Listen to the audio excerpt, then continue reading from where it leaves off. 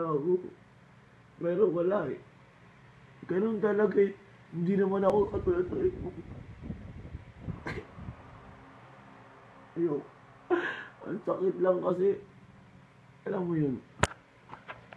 Hindi ka naman gwapo pero hindi ka rin talaga ibang tao. Pero lahat ginawa mo para sarili mo para respetuhin ka kahit magta. Pero wala pa rin. Best Tangina! Kahit ilang beses ko nang murahin sa isip ko si Rhea Best, naiisip ko pa rin yung yung panggagagago sa akin ng niya sa akin. La, alis lahat ng babae. Inusgahan ko dahil doon. Ang pangit ang tingin ko. Pero feeling ko, ang liit ang tingin ko dahil sa kanila. Kasi, alam mo yun, pagod na ako. Lahat ginawa ko. Pagod na, pagod na, pagod na, pagod na ako. Alam mo, bes, sa akin lang. ah. Ako sa akin, keeper bros. Sa akin, kahit anong sabihin nyo sa akin, hindi ako naiinis sa inyo. Ah, proud pa nga ako na kilala nyo ako eh. Ah, kasi kay Sander kasi, na ano na siya eh, pagod na siya sa panglalait nyo. Pagod na siya sa pangiinis nyo. Sawang-sawa na siya, pagod na pagod na siya sa lahat. Na, na, kahit ako, naawa na ako sa kanya eh. Ano, lagi kami kasama na ito eh halos magkaibigan na rin kami.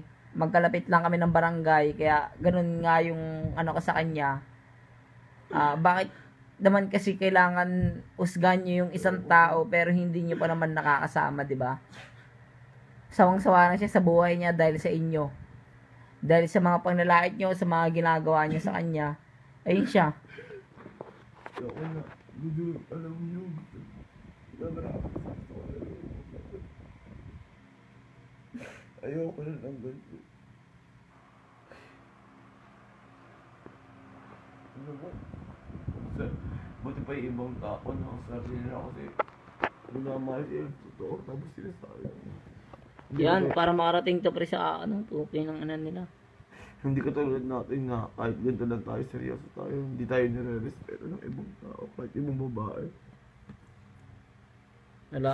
Ang tingin na nila sa atin, walang wala, kwentang Wala tao. lang, walang kwenta. Niloloko lang, kaya nilang lokohin, kaya nilang kuhanin yung pagkasika, pagkasikat, ganun, di ba? Ganun sila, eh, pukin ang ina nyo. Pa- Pagod na pagod na ako. Gusto ko na mamatay.